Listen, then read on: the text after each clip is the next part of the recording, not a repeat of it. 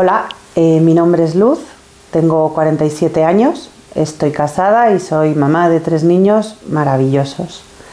Eh, nací en Salamanca, en una familia numerosa, tengo cinco hermanos, todos chicos, y yo soy la única niña, así que soy la mimadita de mi madre, de mi padre y de todos mis hermanos.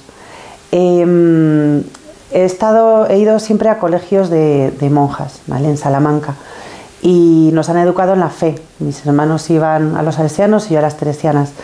Íbamos todos los domingos juntos a misa, eh, bueno, pues mm, participábamos activamente en ellas, siempre nos han apuntado a los coros de los colegios y bueno, pues eh, teníamos bastante vida parroquial allí en Salamanca. Era una vida muy sencilla, muy normal y bueno, yo creo que mis padres nos han intentado inculcar eso, que precisamente en la sencillez es donde, donde está Dios, donde hay que buscarle y donde, donde le encontramos. Em, a los 12 años, eh, bueno, pues por motivos de trabajo de mi padre, nos vinimos a vivir a Madrid. Eh, en Madrid, nada, pues cambié de colegio, estuve en uno de, de curas esta vez y nada, pues seguimos todos los hermanos con nuestra formación, seguíamos yendo a misa, aunque bueno, pues ahí ya con 14 años me independicé y empecé a ir a misa con todos mis amigos. Yo estaba en el coro, tocaba la guitarra y tal. Y, bueno, pues todos los domingos íbamos a misa en el colegio, seguíamos eh, bueno, pues teniendo una vida religiosa bastante activa toda, toda la familia. Em, y nada, así hasta que, hasta que llegué a la, universidad. Em, en la universidad, eh, bueno, pues poco a poco empecé a, dejar un poco de lado la, vida religiosa, empecé a dejar de ir a misa, porque bueno, pues ya a final, de, a final del colegio en, en COU, que ahora es segundo de bachiller, eh, si iba era pues nada, para estar con los amigos y por la cañita de después más que por, más que por la misa en sí. Eh, y durante la universidad, bueno, pues eh, poco a poco la vida de, de universitaria con las juergas y con y con los estudios pues me fui, me empecé a alejar un poquito de, del Señor. Bueno, pues eh, pensaba mucho en, salir con mi pandilla, en, las juergas y, bueno, y un poquito, no mucho, en los estudios. Eh, pero bueno, pues así transcurrió mi vida. Eh, y bueno, pues como, como, he ido diciendo, poco a poco me fui, me fui alejando de, de Dios. Dejé, dejé incluso de creer en Él. Porque, bueno, pues no, ya no iba mucho a misa, no rezaba, no, no hablaba ni de Dios ni con Dios, así que poco a poco me fui, me fui apartando. Em, con 26 años, eh, bueno, pues conocí al que hoy es mi marido, al amor de mi vida, a Nacho, que es un hombre maravilloso. Y, y a los dos años de, empezar a salir decidimos casarnos. Em, decidimos casarnos por la iglesia, pero mm, más por costumbre que por otra cosa, porque bueno, pues él era también de, colegio religioso y bueno, como nuestras familias eh, eran, son católicas y practicantes, pues por, por rutina o por, porque es lo que había que hacer, ¿vale? Pero la verdad es que cuando empezamos a planear nuestra boda, estábamos muy ilusionados con, con dónde celebrarlo, dónde ir de viaje, eh, eh, bueno, pues qué iglesia escoger, eh, el vestido, los trajes del traje de él, los, los niños, pero Dios era poco importante en nuestra boda, la verdad. Dios era un complemento más de la boda, pues como cualquier otra cosa de las que, de las que he ido contando. Em, en esa época, mi, padre, a mi padre le, diagnosticaron un, cáncer de colon. Eh, estaba, estaba bastante malito. en la em, universidad, eh, bueno, pues dejé poco a poco de ir a misa, de hablar de Dios, de, mm, ir a, retiros o a, o a peregrinaciones. No, perdón, Miento, porque es que a peregrinaciones he ido. Esto todo borrado. Sí, sí, esto todo borrado. todo borrado, porque no. Me, he enrocado. Vale.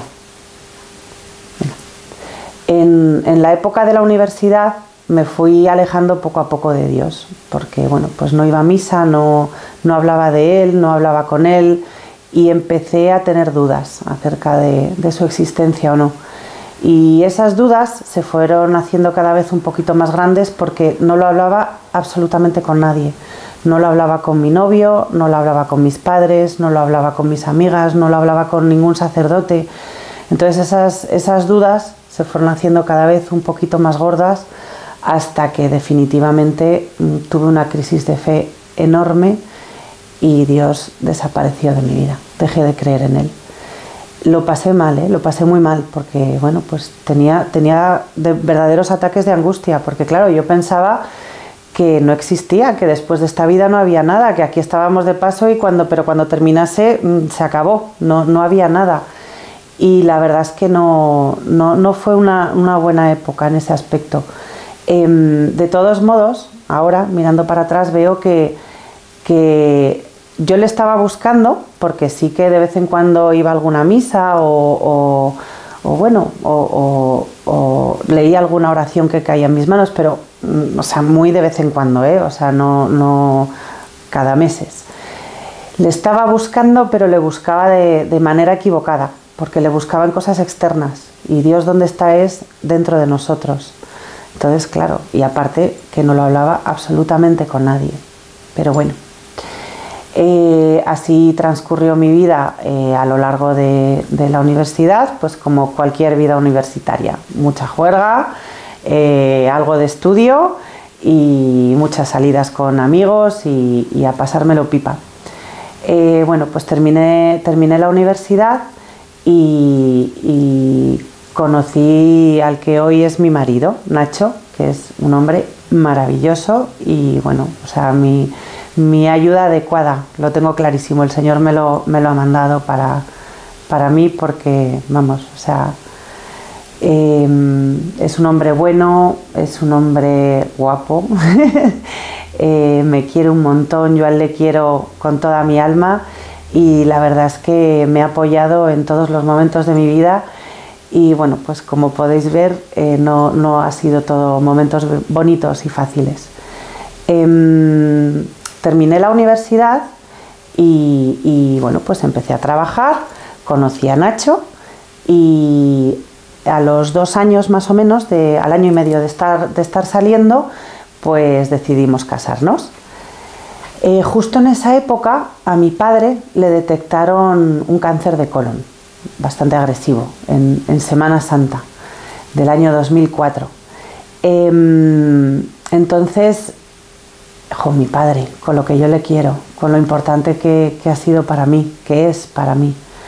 Eh, la verdad es que tengo la gran suerte de tener en mi padre y mi madre mm, dos, referentes, dos personas en las que apoyarme, que han estado conmigo siempre, que bueno, pues pese a todas las gamberradas que, he hecho, siempre han estado conmigo, apoyándome, ayudándome y, y bueno, pues llorando conmigo si había que llorar y riendo conmigo si tocaba reír. Tengo, tengo la inmensa suerte de tener unos padres maravillosos. Entonces, claro, eh, eh, a mi padre de repente le diagnostican un cáncer de colon y mi, mi, mundo se puso del revés.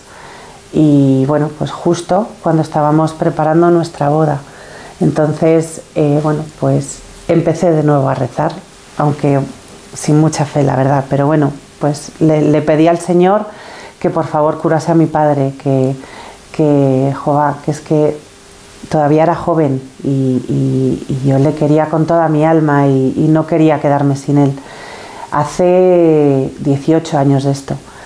Em, bueno, pues como Dios es maravilloso, aunque yo no se lo pedía con mucha fe y no creía en él, eh, me lo concedió y mi padre se curó. Em, empezamos con los preparativos de la boda, Nacho y yo, y, la verdad es que eran muy banales. O sea, lo importante de la boda era el vestido, el viaje, el banquete, los niños, pero Dios no, Dios no era importante. Nos casamos por la iglesia, más por, por costumbre que por otra cosa, porque bueno, pues nuestras familias son creyentes y, y es lo que había que hacer, pero no, no, vamos, me podría haber casado por el rito zulú que habría pasado exactamente lo mismo. Em, Dios no, era el centro de nuestro matrimonio, no, no, era un matrimonio de tres, que es como debe ser, con Dios en el centro. Eh, entonces, bueno, pues seguimos adelante con nuestra boda.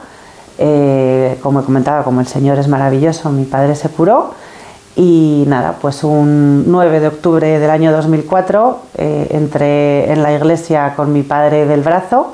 Estaba bastante pachucho porque estaba entre dos ciclos de quimio, pero, pero estaba feliz y, bueno, pues yo ni que contaros, ¿vale? Eh, entonces, bueno, pues Nacho y yo nos casamos y empezamos nuestra vida como cualquier otro matrimonio. Eh, me quedé embarazada a los, al año de casarnos más o menos, pero perdí al bebé. Eh, a las ocho semanas eh, tuve un aborto espontáneo y perdí, perdí al bebé. La verdad es que fue un palo porque estábamos muy ilusionados, era un bebé muy querido. Pero bueno, hoy pienso que, es el ángel de la guarda del resto de mis hijos y de hecho le he puesto nombre, se llama Juan y, vamos, nos cuida un montón desde el cielo. Eh, luego nacieron el resto de mis hijos, mis tres hijos, mi hijo Nacho, mi hijo Álvaro y mi hija Julia que tienen ahora 15, 12 y 8 años. Y bueno, pues son monísimos, que voy a decir yo que soy la madre. Em, no, pero son, son una bendición, son maravillosos.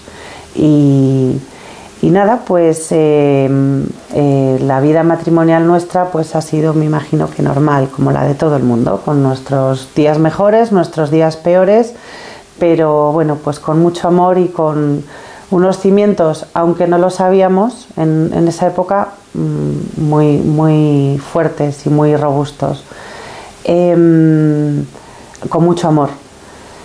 Em, bueno, pues em, pasa nuestra vida, nuestros hijos, también por costumbre, eh, han ido a, van a un colegio religioso porque yo me, vamos, me jactaba decir que mi, familia religiosa, entonces mis hijos tenían que ir a un colegio católico, porque los valores y los principios que inculcan, ese era mi discurso, en ese tipo de colegios, pues son los que yo quería para ellos, pero la verdad es que seguía buscándole, yo seguía buscando a Dios. Eh, por, por, todos los medios posibles, por, a través de mis hijos, a través de mi familia. No lo decía nadie, pero yo seguía buscándole. Em, en el año 2016, en Semana Santa también, eh, el Señor dijo, venga, que aquí estoy yo y de una vez por todas mm, te vas a enterar de que existo.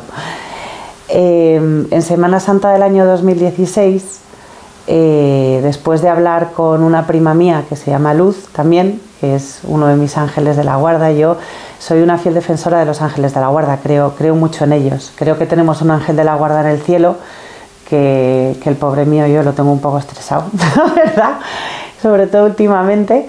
Pero creo que también el Señor nos pone ángeles de la guarda aquí en la tierra, que son personas normales, como cualquiera de nosotros, que nos, que nos guardan, que nos cuidan y que, que nos guían también aquí abajo en esta vida.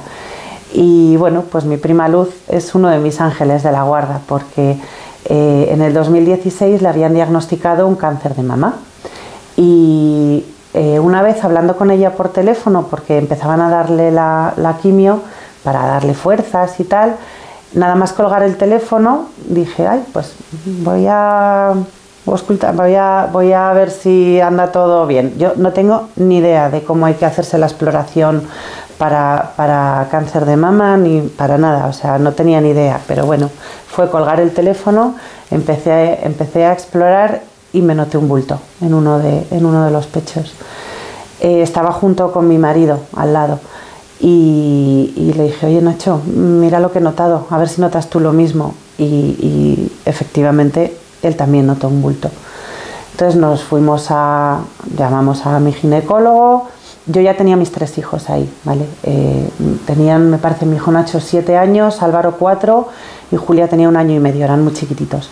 Eh, entonces, bueno, pues empezamos a, ir a médicos, llamé a mi ginecólogo, me dio cita, empezaron a hacerme pruebas y cuando me hicieron la mamografía y me dijeron que había que repetirla, la verdad es que se me cayó el mundo al, suelo. Me asusté mucho y pensé mucho en, mi familia, en mis padres, en mi marido, en mis hijos o sea, la verdad es que lo pasé mal, sentí muchísimo miedo. Y nada, pues llegó el, ginecólogo con todas las pruebas, llegó el día en el que tuve ginecólogo y efectivamente me, dijo que sí, que tenía cáncer de mama. Eh, bueno, pues gracias al Señor eh, estaba cogido a tiempo, es un, cáncer hormonal eh, cogido muy, muy, muy a tiempo y, empezamos a luchar. me operaron corriendo, empezamos con la quimio, eh, además recuerdo que, bueno, pues como mis hijos eran muy pequeñitos y no, quería asustarles, vinieron dos amigas a raparme a mi casa delante de ellos y lo hice como un juego. O sea, me dejé una cresta, me dejé una coleta, me dejé, bueno, pues lo intentamos hacer divertidos para que no se asustaran, porque como, como os he dicho, siete, cuatro y un año y medio, eran, eran pequeñitos. Y nada, les expliqué mm, pues que tenía un bichito que andaba por ahí por la, por la pechuguilla, que me tenían primero que operar y, quitarme la, pechuga, eh, que luego me tenían que poner unas inyecciones que iban a hacer que se me cayese el pelo, pero que no pasa nada, porque cuando terminásemos con las inyecciones el pelo volvería a crecer, el bichito iba a desaparecer y me iban a poner unas pechuguillas nuevas y ya está, y todo fenomenal. Y bueno, pues eh, así, lo, así lo cogieron, la verdad. Eh, bueno, pues en la quimio había un par de días malos o tres y esos dos o tres días malos a mis hijos mayores, eh, una amiga se los llevaba a su casa para que no me viesen pues pasarlo mal. Otro de mis ángeles de la guarda, ¿veis? Si es que yo tengo un montón de ángeles que me guardan aquí abajo, tengo, tengo mucha suerte, soy, mucha soy muy afortunada. Em, bueno, pues venía mi madre a cuidarme a casa y junto con mi marido eh, cuidaban de, Julia, de mi hija pequeña y de, mí.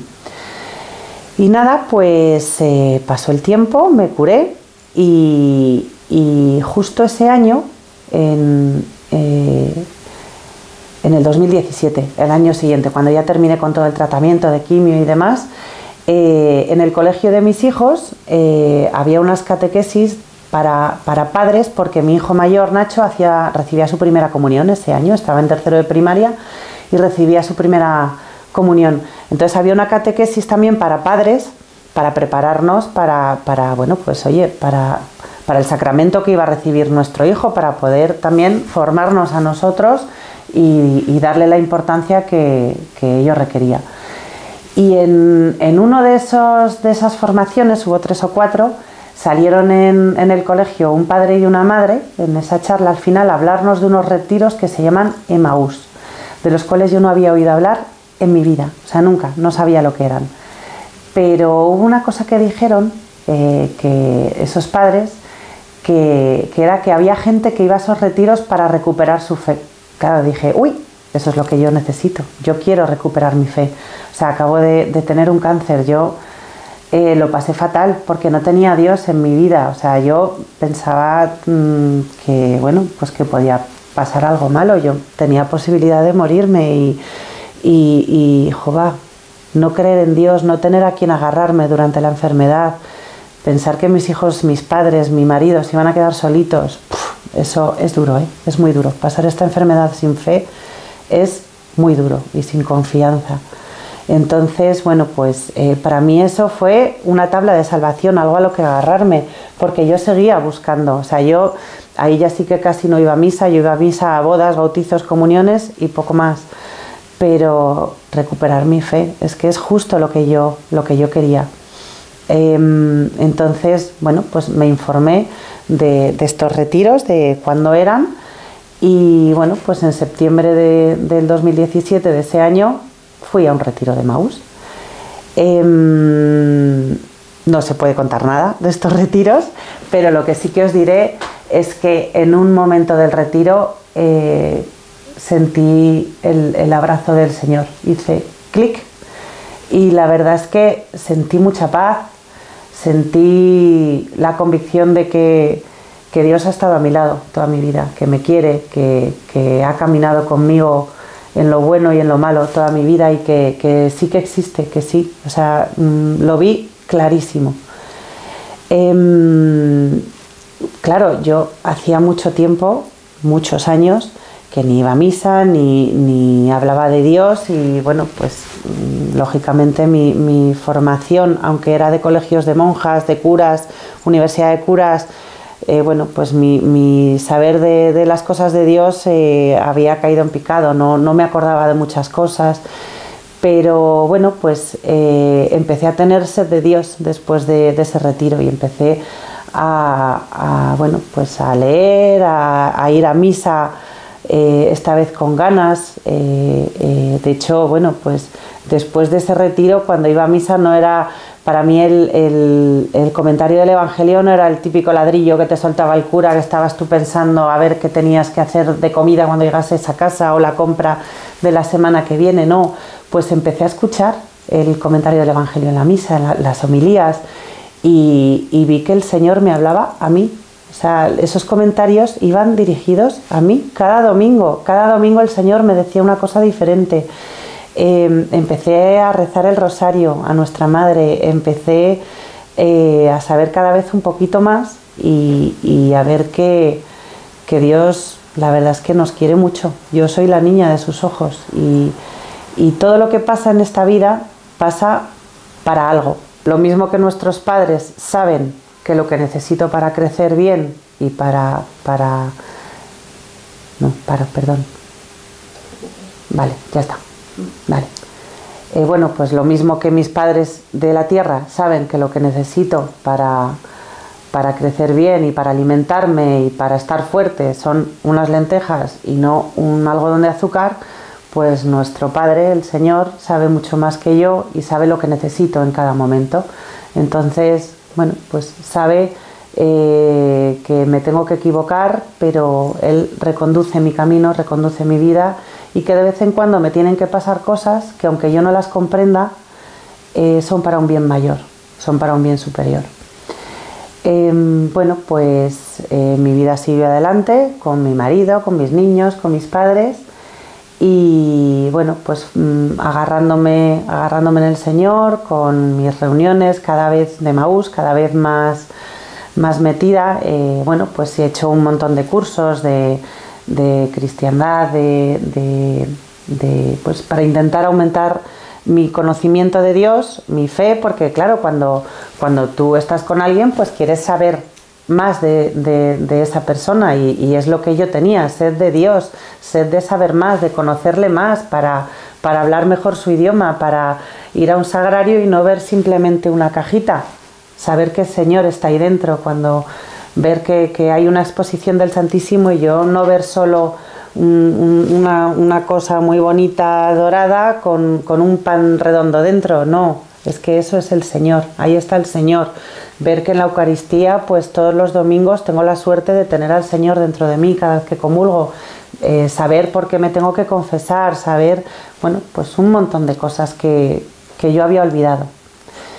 Em, bueno, pues mi vida siguió adelante con mis tres hijos, con, mi marido, con mis padres, eh, bueno, y, y hace em, hace nueve meses más o menos, en, mayo del año 2022, em, en una revisión eh, mi oncóloga me dijo que, el bicho había vuelto, que volvía a tener cáncer.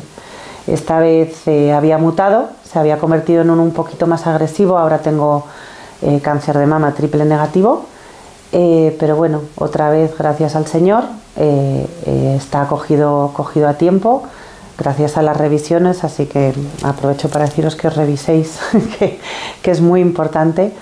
Em, bueno, pues en, esa revisión se vio que, tenía cáncer y que, bueno, pues que, había que empezar a pelear otra vez. Em, esta vez tenía Dios de mi lado, porque esta vez el cáncer eh, vino con, Dios de, de mi lado por mi parte, porque Dios siempre ha estado a mi lado, pero esta vez he tenido a quien agarrarme, esta vez eh, he tenido mucha confianza, he tenido mucha paz, o sea, yo sé que me puede pasar cualquier cosa, pero yo estoy tranquila, estoy tranquila porque le tengo a Él y porque, eh, bueno, pues Él me va enviando señales y, me va hablando. A mí me habla, no, no me habla como estoy hablando yo ahora, pero me habla pues a través de personas, a través de gestos, a través de, a través de muchas cosas a, mi alrededor todos los días y todo eso hace que, mi confianza en Él se afiance y crezca y, bueno, pues que, vea que, esta enfermedad tiene un porqué y tiene un para qué y, que es para un bien mayor. Em, esta vez, además, em, el Señor me ha mandado a su madre para que me cuide, a la Virgen porque em, cuando, cuando me diagnosticaron este segundo cáncer, en mayo fue, el 13 de mayo, el día de Nuestra Señora de Fátima, em, al principio, antes cuando estaba con las pruebas, yo tenía un algo que sabía que, bueno, pues que volvía a haber bicho. Pero em, al principio, cuando me estaban haciendo las pruebas, yo eh, rezaba al Señor, rezaba a Dios directamente además. Eh, le pedía fuerza, le, pedía confianza, no, no, le pedía curarme o, no tener cáncer, todavía no lo sabía que, lo tenía. No, no, de verdad que yo no le pedía no tener cáncer, le pedía que mi entorno no sufriera, que, me hiciese fuerte, le pedía em, que me diera luz y alegría, era lo que más le pedía a Dios. Em, el, día, el día 13 de mayo que fue cuando, cuando me dijeron que, efectivamente tenía, tenía cáncer. Em, yo le rezaba a Dios, pero le rezaba de la manera equivocada. Por mucho que lo tenga en mi vida, eh, no, yo bueno, pues no acabo de hacer las cosas bien siempre, pues porque yo soy pequeñita y, y estoy en continuo en continua formación y en continuo aprendizaje. Entonces, eh, lo que yo pensaba era, jo, ¿para qué voy a rezar a la Virgen? ¿Para qué lo voy a rezar a cualquier santo? Si puedo rezar directamente al que va a hacer o que no tenga cáncer o que me cura o que tenga fuerzas. O sea, puedo rezar directamente al jefe. ¿Para qué voy a andarme con intermediarios eh, para, para, para, conseguir algo que, que, se lo puedo conseguir, que lo puedo conseguir directamente del que lo hace? Eh, bueno, pues cuando salí de mi oncóloga, eh, bueno, pues me pasó lo mismo que cuando hice el retiro de Maús, que tuve un clic y vi que, que, Dios existía, pues tuve otro clic y dije, anda, sí, Dios es, el, que, el que lo hace todo, Dios es el que hace los milagros, pero, pero sí, que, sí que le gusta que pidamos la intercesión de su madre sobre todo y de los santos. Eh, porque bueno, pues ellos tienen que ganarse su santidad y tienen que cuidarnos también. Y, bueno, pues lo mismo que en las bodas de Caná, Dios, hizo el milagro porque se lo pidió su madre, eh, pues ahora sí, ahora que ya sabía que sí que había bicho, em, le empecé a pedir a su madre que por favor me, me, curase, que, que intercediese por mí para que el Señor me curase. Más que por mí, porque de verdad que yo mm, tengo confianza ciega en el Señor, sé que, sus planes son perfectos y aunque yo no los comprenda, son perfectos y, todos tenemos una misión en la vida. Entonces, bueno, pues esa misión llega un momento que llega a su fin y, solo lo sabe Él. Y cuando eh, llegue al cielo, pues sabré cuál es esa misión y sabré por qué y sabré para qué pero claro, yo tengo tres hijos muy chiquititos todavía. Tengo, tengo unos padres que, bueno, pues estoy pidiéndole a, la Virgen que por favor que no me sobrevivan, porque sé que van a sufrir mucho. Tengo un marido que, que sé que le hago falta. O sea, a mí todos ellos me hacen una falta bárbara también, ¿eh? O sea, yo no soy nadie, eh, soy, sé que soy importante para ellos, lo mismo que ellos lo son para mí. Entonces, bueno, pues por eso eh, a partir de, ese día, del 13 de mayo, le empecé a pedir a la Virgen que intercediera ante nuestro Señor para que me curase. Em, y la verdad es que la Virgen me está cuidando, me está cuidando muchísimo. Em, es que no, hay opción de no tener confianza por cómo me está hablando la Virgen. Em, está rezando muchísima gente por mí. Yo he aprendido que el arma más potente que tenemos es esta, es el rosario. Y rezar el rosario es lo que, lo que hace que, que, nuestra madre atienda nuestras plegarias y atiende nuestra, atienda nuestras súplicas. Em, me podrían haber operado cualquier día, cualquier día, pero me llamaron por teléfono y, y, me dijeron que mi operación iba a ser el 1 de junio. El 1 de junio es Nuestra Señora de la Luz, mi santo.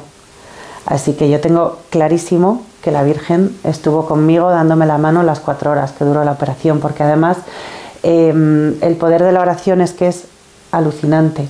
Eh, el día de mi operación, todo mi, grupo de Maús del Carmen estuvo desde las cinco y media de la madrugada hasta las 9 de la noche, cada media hora yo tenía una hermanita rezando el rosario por mí. En la puerta del quirófano tenía otras hermanitas de Maús rezando el rosario por mí. Entonces, Mm, o sea, ¿cómo no iba a estar la, Virgen conmigo? Bueno, mi madre me, puso esta medalla, que es Nuestra Señora de la Luz, que desde entonces no me la quito, porque está conmigo. O sea, estos son, son gestos externos y, como he dicho al principio, Dios está dentro de nosotros. Pero, pero ellos nos van hablando a través de personas y a través de cosas y a través de días, como, como me está pasando a mí últimamente. Eh, os voy a contar unas, unas anécdotas de, cómo me habla a mí la Virgen. Aparte del el día de mi operación, em, bueno, pues eh, yo empecé, me operaron el 1 de junio y el día 24 de junio eh, empecé con, con, la quimioterapia. Esta vez, bueno, pues como, como soy reincidente, pues mi oncóloga, que es otro de mis ángeles de la guarda, aquí abajo, y su enfermera Carmenchu, bueno, pues eh, están, han utilizado todo tipo de, quimios y de radios, o sea, han, sacado la artillería pesada y han frito al bicho a, través de quimios y radios que han sido pues bastante fuertes. Entonces, eh, yo he tenido 16 ciclos de quimio y los cuatro primeros son un poquito más, más bestias, más duros. Empecé el 24 de junio.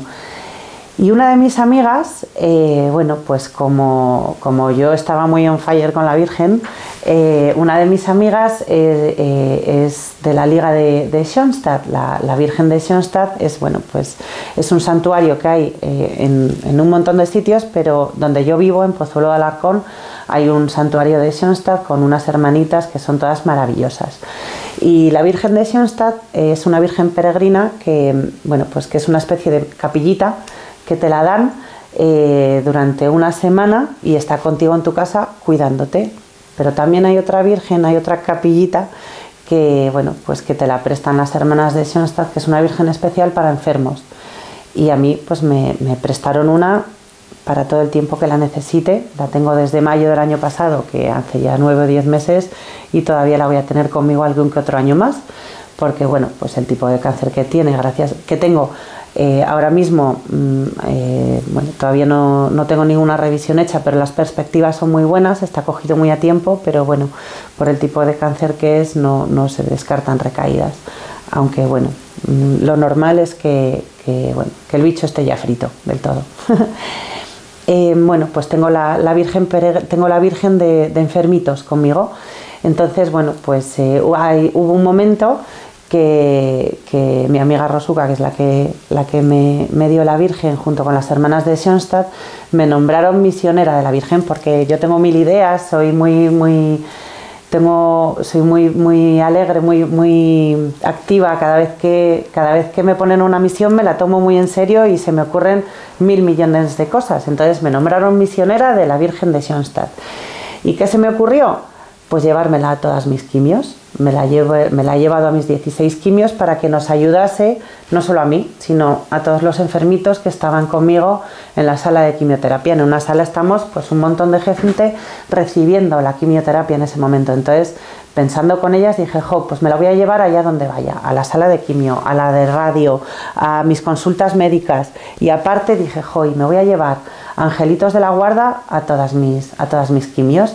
Entonces, bueno, y empecé también a, colgar las, quimios en Instagram para intentar dar tanto luz y alegría, que es lo que yo pido para mí, a la Virgen, em, eh, para intentar darla y un poquito de, de que esta enfermedad es muy dura, pero también tiene sus cosas buenas, también tiene sus días buenos y los días buenos yo pienso que tenemos que aprovecharlos a tope.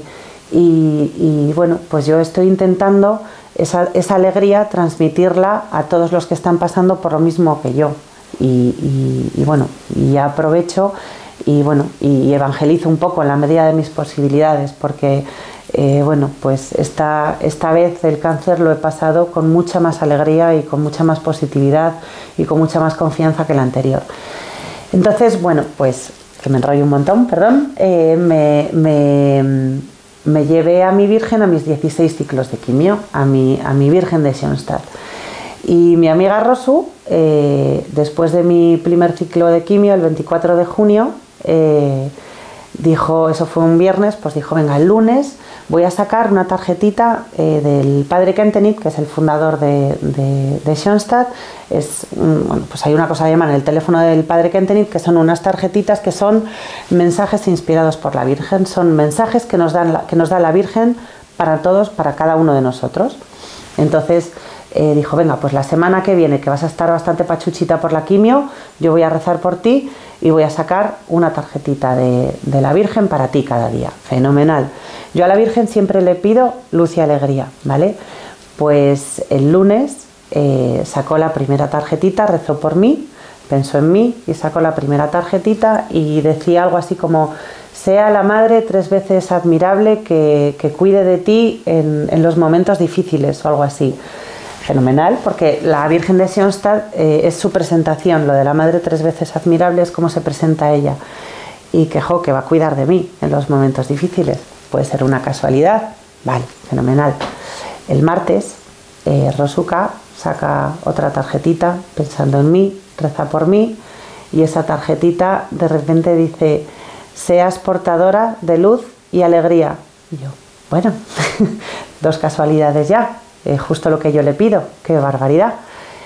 Eh, saca el miércoles, reza por mí, piensa en mí, saca tarjetita y que decía la tarjetita también algo como los actos heroicos de las personas se encuentran en la alegría.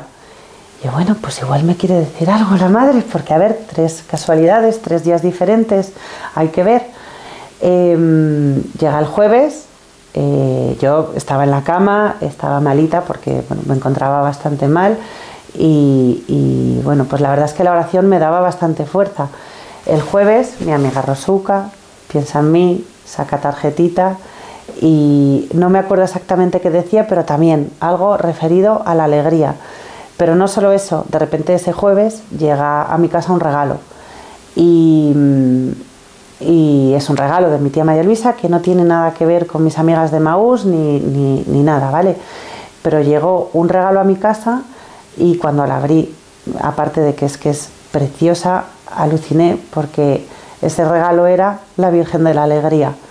Eh, el viernes Rosuka volvió a sacar otra tarjetita por mí, rezó por mí y, y no sé el texto exacto, pero también algo de luz y de alegría. Entonces, claro, ya hablé con Rosu y le dije, Rosu, ¿esto, ¿esto qué es? O sea, mm, es lo que yo le pido siempre a la Virgen, se lo llevo pidiendo un montón de tiempo, porque, bueno, pues yo creo que yo estoy eh, mucho más a gusto si hay alegría a mi alrededor. Yo necesito que haya buen rollo, que la gente esté contenta y, es lo que intento transmitir, es lo que, lo que bueno, pues mm, el Señor me puso en el corazón. Ahora ya sé qué es eso. Yo creí que era una de mis voladuras al principio, de bueno, pues voy a crear un Instagram y voy a dar luz y alegría y sobre todo a transmitir alegría y que vea que la gente puede disfrutar de la vida aún estando muy malita y los días buenos, pues pasármelo bomba. ¿Y, esto qué es? Y nada, pues ya me lo estuvo explicando mi amiga Rosu junto con una de las hermanas de Schoenstatt y me, nada, me explicó que, la alegría es el ideal personal para el que yo había sido creada, es lo que tenía pensado Dios para mí, es mi, carisma, mi, don, mi, bueno, mi, motivo de, estar aquí abajo. Entonces, bueno, pues eh, eh, es lo que estoy intentando transmitir desde entonces. De hecho, eh, bueno, pues como os he contado, intento que, todo el mundo a mi alrededor esté bien y que, esté contento porque, aparte porque yo necesito esa alegría.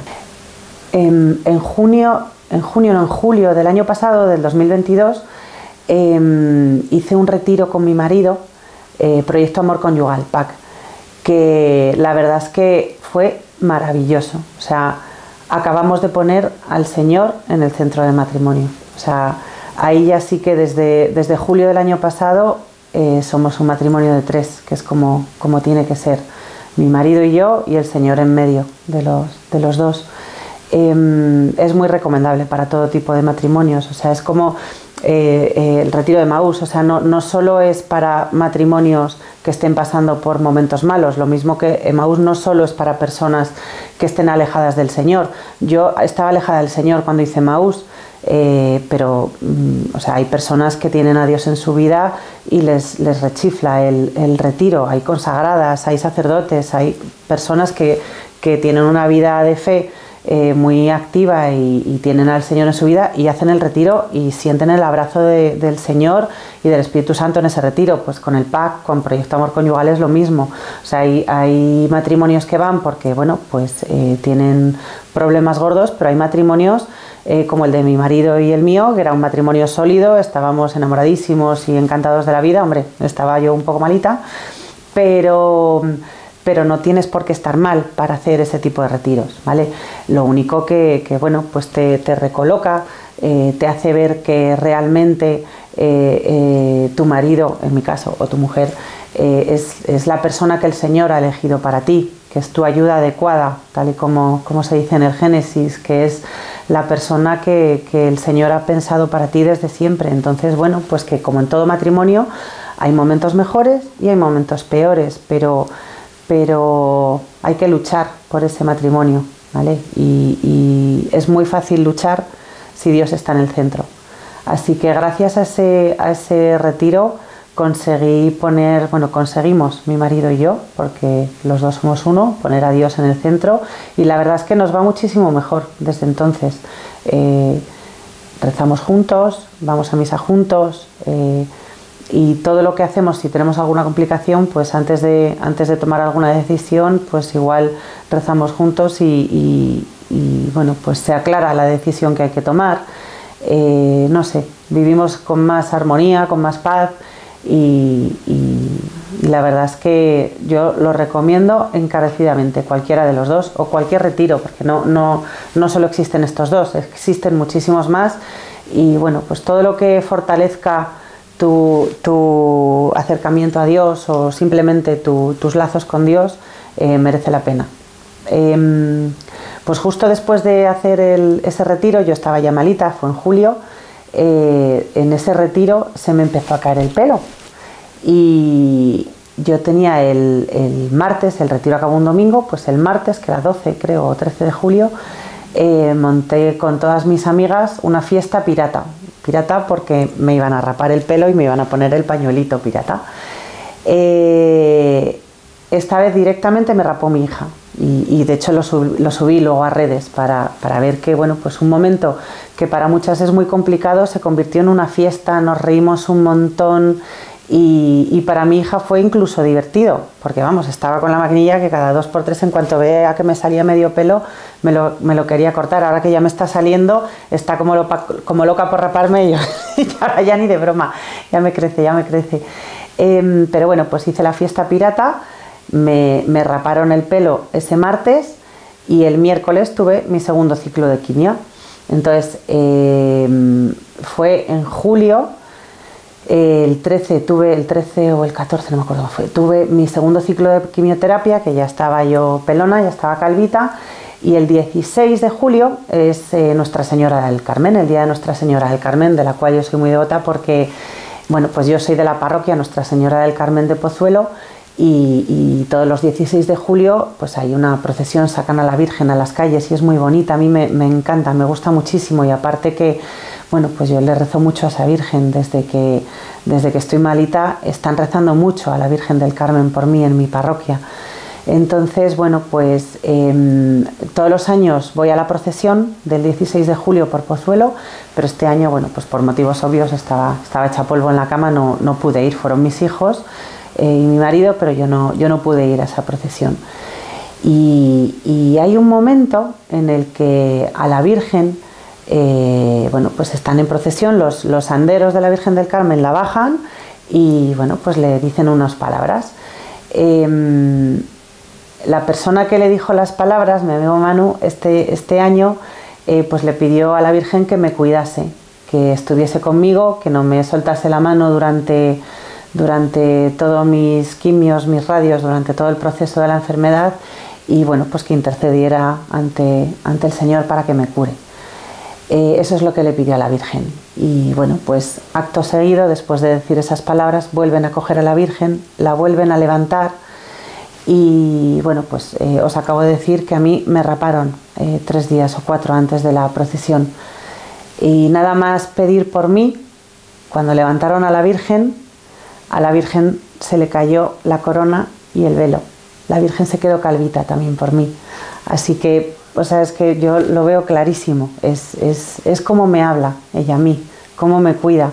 Y yo la noto conmigo, está durante toda mi enfermedad dándome la mano, cuidándome como una madre, como mi, como mi madre de aquí de la tierra, que, que, bueno, pues la pobre lo está pasando mal, pero, pero ha estado conmigo en todo momento cuidándome y, dándome mimos y, bueno, pues intentando que yo esté bien mi, mamá de la tierra, mi mamá Mariluz, pues mi madre la Virgen durante toda mi enfermedad ha estado exactamente igual conmigo y, sé que me ha cuidado mucho y, me está hablando y, bueno, pues sé que, tiene una misión para mí, sé que me, ha puesto la misión de, de, dar alegría, que es lo que yo siempre le he pedido, y sé que me necesita. Entonces, bueno, pues ¿Cómo, negárselo con todo lo que está haciendo ella por mí?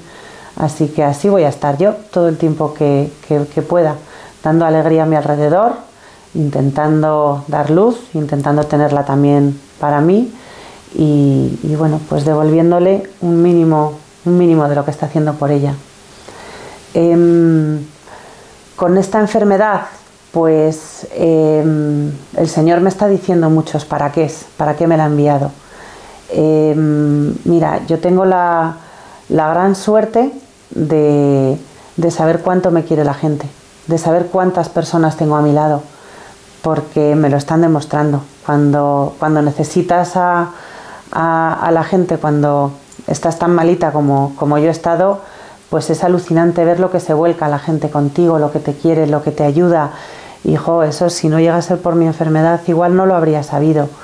Em, estoy ayudando a muchas personas, yo también, porque bueno, pues eh, desde que publico eh, lo que me está ayudando a mí la Virgen, desde que, desde que intento ayudar, intento dar alegría, intento em, pues que la gente vea el vaso medio lleno en lugar de medio vacío, eh, pues la verdad es que hay bastante gente que se está poniendo en contacto conmigo y, creo que estoy echando cables a gente y ayudando a, a cambiar el punto de vista y, bueno, pues a, dar razones por las que pelear.